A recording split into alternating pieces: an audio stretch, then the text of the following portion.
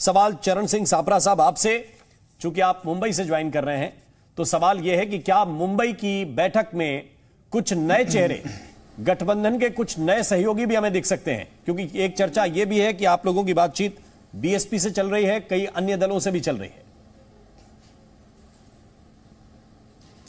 देखिए कौन से नए चेहरे जुड़ेंगे ये तो आपको 31 और 1 तारीख को ही पता चलेगा। आ, लेकिन निश्चित रूप से मुंबई की जो बैठक है उसके अंदर बहुत सारे नए निर्णय होंगे कि इस गठबंधन का ये इंडिया का स्वरूप किस तरह से उभर के निकलेगा किस तरह से जॉइंट रैलीज होंगी कब कब होंगी आ, शायद इसके ऊपर लोगो भी इसमें डिस्प्ले हो। तो ऐसे बहुत सारी चीज़ें हैं। सीट शेयरिंग पर भी कुछ हद तक बात होगी। तो बहुत सारी चीज़ें हैं जिस पर ये चर्चाएँ होंगी। कॉमन मिनिमम प्रोग्राम में चर्चा होगी कि कॉमन मिनिमम प्रोग्राम किस तरह से बनेगा क्या क्या मुख्य मुद्दे रहेंगे देश के जो कॉमन मिनिमम प्रोग्राम में रहेंगे। तो ऐसे बहुत सारी चर्चाएँ हैं जो मेरे ख्याल से 31 और 1 तारीख को जो मंथन होगा उसमें से निकल करके आएगी और इंडिया और मज़बूत होकर के आएगा।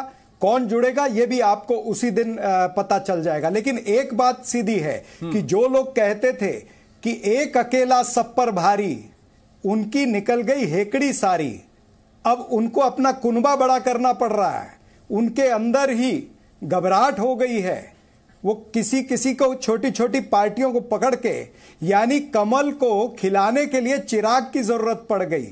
ओम प्रकाश राजभर, संजय निषाद, ऐसी छोटी छोटी पार्टियाँ, यानी टुकड़े टुकड़े गैंग हमको बोलते थे लेकिन टुकड़े टुकड़े जमा करने की नौबत जो है वो एनडीए की आ गई है। इससे सिद्ध होता है कि अपने आप को जो स्वयंभू मज़बूत सरकार कहते थे वो अब मजबूर हो गए हैं। ये मजबूर सरकार है और इंडिया जो है वो जनता के मुद्दों पर लड़ेगा जनता के मुद्दों को प्राथमिकता देगा और ये पर्दाफाश करेगा कि किस तरह से इंडिया वर्सेस एनडीए का ये लड़ाई चलेगी। साहब कुछ प्रश्न है उनके पास उस पर मैं बाद में आऊँगा लेकिन डॉक्टर अजय आलोक हमारे साथ जुड़े हुए हैं।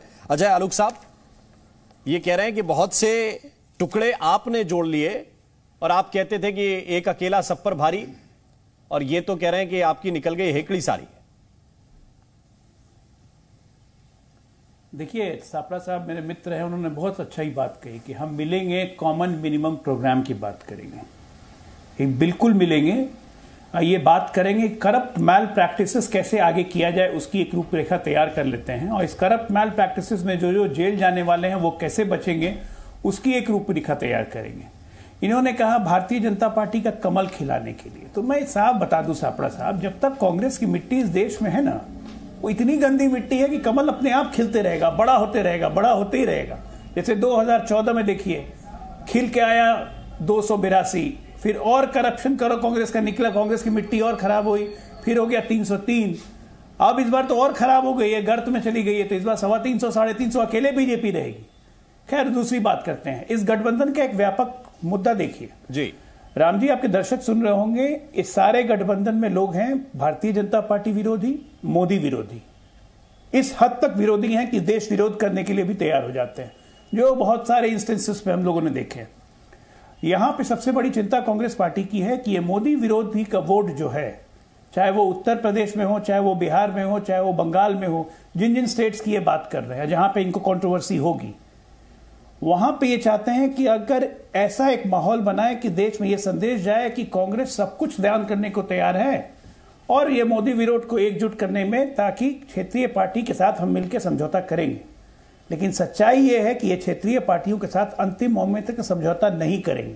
और फिर ये मैसेज देंगे कि हमने बहुत कोशिश की थी कि ये मोदी विरोधी वोट एक जगह रहे लेकिन इन लोग की क्षेत्रीय पार्टियों की महत्वाकांक्षा इतनी ज़्यादा है कि एक साथ नहीं आ सकते हैं और देश में मोदी का विकल्प किसी को बनने नहीं देना चाहते हैं। ये ठीकरा फोड़ेंगे क्षेत्रीय दलों पर और उसके बाद ये जहाँ जहाँ हो सके अब अपने हिसाब से चलेंगे। नहीं तो ये अकेले लड़ेंगे और चाहेंगे कि पोलराइज माहौल का सारा फ़ायदा कांग्रेस पार्टी को मिल जाए। ये चैलेंज हमारे लिए नहीं है। हम्म। ये चैलेंज उन क्षेत्रीय दल के लिए है जो आज भी डरते हैं कांग्रेस से अलायंस करने में। ठीक। चाहे वो आम आदमी पार्टी हो गई चाहे वो ममता बनर्जी हो गई चाहे वो अखिलेश हो गए इंडिया गठबंधन के मन में संशय मैं उत्तर दे दूँ? बिल्कुल सापरा साहब इस सवाल के साथ कि ये वैचारिक आप लोगों की एकजुटता है सभी की या फिर ये वाकई सिर्फ़ मोदी विरोध है मोदी को हटाना है तो साथ आ जाइए। नहीं, ये मोदी विरोध से ज़्यादा मोदी और भारतीय जनता पार्टी की नीतियों का विरोध है। कांग्रेस पार्टी को सत्ता का लालच नहीं है, लेकिन हम सत्याग्रह के माध्यम से, सत्याग्रह के माध्यम से जो विभाजनकारी राजनीति करते हैं, जो नफरत फैलाते हैं, जो इस देश के अंदर द्वेष फैलाते हैं, हाल ही में हम कैसी घटनाएँ देख रहे हैं कि आरपीएफ का एक जवान अपने एएसआई को और तीन यात्रियों को वहाँ पर गोली चला करके ट्रेन के अंदर मार देता है। थप्पड़ कांड मुजफ्फरनगर में जो हुआ है, यानी छोटे बच्चे उनकी क्लास के अंदर अगर विभाजनकारी चीज़ें, विभाजनकारी बातें होने लग जाए तो ये देश, ये पार्टी को गर्क में जाने की बात कर रहे थे। भारतीय जनता पार्टी देश को गर्क में पहुँचा रही है। ऐसे तमाम सारे मुद्दे, हमारी रेसलर बहनें तीन महीने दिल्ली में बैठी रही, इनका कोई मंत्री वहाँ तक नहीं गया। उन रेसलर बहनों को हमको न्याय दिलाना है। हमारे किसान लखीमपुर खीरी के किसान जिनको मंत्री पुत्र ने टायरों थले रोंद दिया उनको न्याय दिलाना बाकी है। तो, तो ये तमाम सारे मुद्दे हैं ये लेकर के इंडिया उतरेगा।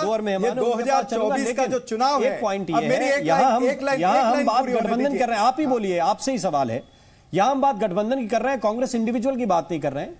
सवाल यह है कि जब आपके सहयोगी गठबंधन के साथी अरविंद केजरीवाल मध्य प्रदेश में जाते हैं और बताते हैं कि बीजेपी और कांग्रेस दोनों ने बारी बारी प्रदेश को लूटा। हमको मौका दे दीजिए।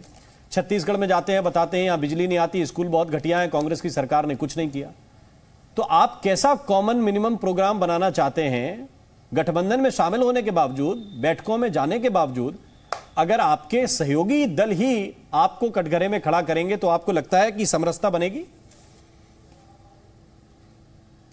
देखिए निश्चित रूप से कॉमन मिनिमम प्रोग्राम बन रहा है और वो स्वरूप उसका आपके सामने आएगा। अगर आप हमसे सवाल करते हैं तो इनसे भी पूछिए कि जो संजय निषाद हैं या ओम प्रकाश राजभर जो हैं क्या वो जातिगत राजनीति नहीं करते हैं? ये के, ये इसके ऊपर भारतीय जनता पार्टी को उत्तर देना चाहिए। क्या जो क्या जो जाति ओम प्रकाश जो जाति मेरी बात मेरी बात आपकी आपकी बात आएगी मेरी आप सवाल को सवाल की जगह पे लीजिए ना। मेरी बात राजभर और संजय निषाद सवाल आप मुझे उत्तर देने ही नहीं दे रहे ना। सापरा साहब सुन लीजिए अगर दोनों व्यक्ति आप मुझे उत्तर देने नहीं मेरा उत्तर ना मेरा उत्तर पूरा तो सुने बिना आप जवाब दीजिए। मेरा उत्तर पूरा सुने बिना आपको और एक सवाल करता हूँ आपको अतिरिक्त समय दूँगा। मैं आपको अगर मैं आपका समय ले रहा हूँ तो आपको समय भी दूँगा। चिंता से मैं सिर्फ़ ये कह रहा हूँ कि संजय निषाद ओम प्रकाश राजभर गठबंधन में आने के बाद ये कहें कि बीजेपी ने सबको लूट लिया तो आपका ये सवाल जायज़ है। हर दल का एक राजनीति करने का स्टाइल है और वो राजनीति वैसी करेगा। आपके हिसाब से आरजेडी राजनीति नहीं करेगी ना जेडीयू करेगी। वो अपने हिसाब से करेंगे। लेकिन वो ये नहीं कहेंगे कांग्रेस चोर है। अगर वो ये कहें तो क्या ये स्वाभाविक सवाल नहीं है कि आप लोग एक मंच पे अभी नहीं है? मैं ये कह रहा हूँ कि जातिगत जनगणना ये भारतीय जनता पार्टी को पसंद नहीं है। क्या संजय निषाद और ओम प्रकाश राजभर या अनुप्रिया पटेल इस मुद्दे के साथ हैं? ये उत्तर देना चाहिए भारतीय जनता पार्टी को। तो ऐसे कई सारे मुद्दे हैं। कहने का तात्पर्य ये है कि हमारे अंदर मतभेद हो सकता है मनभेद नहीं है।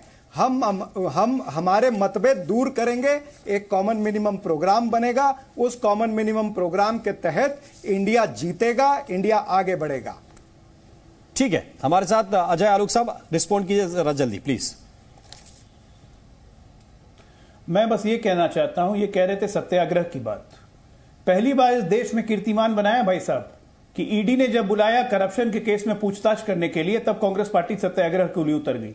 सत्याग्रह किस लिए? करप्ट को बचाने के लिए। राहुल गांधी से ईडी भ्रष्टाचार, नेशनल हेराल्ड के मामले में पूछताछ क्यों कर रही है? इस पर हम सत्याग्रह करेंगे। तो ये तो आपके सत्याग्रह का चरित्र हो गया।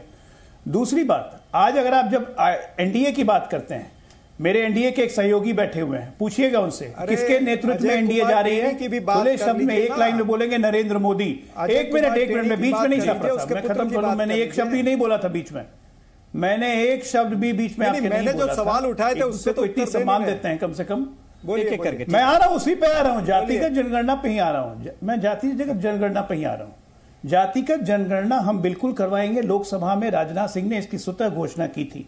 2020-21 में हम नहीं करवा पाए क्योंकि कोविड की समस्या थी और हमारे लिए उसको टैकल करना ज़्यादा विकराल था देश की इकोनॉमिक समस्या थी वो ज़्यादा विकराल था। जातीय जनगणना होगी और वो सिर्फ़ केंद्र सरकार ही करवा सकती है। आज जो बिहार में ये जातिगत जनगणना के नाम पे ड्रामेबाजी हो रही है तो इसका कोई इसका कोई रिजल्टेंट तो निकलने वाला नहीं है क्योंकि ये संवैधानिक होगा ही नहीं ये आप भी जानते हैं। कर्नाटका में तो आप करवा चुके ना क्या निकला?